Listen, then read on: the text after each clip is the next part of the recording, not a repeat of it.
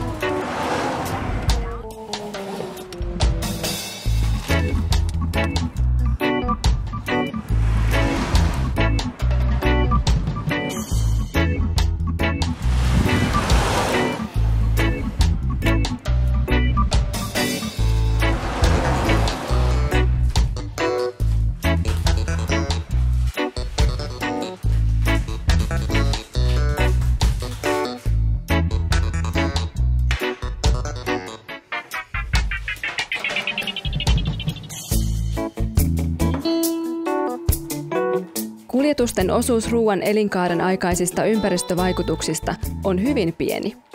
Sen sijaan sillä, miten kuljet omat kauppamatkasi, on ratkaiseva merkitys yksittäisen elintarvikkeen ympäristökuormitukseen.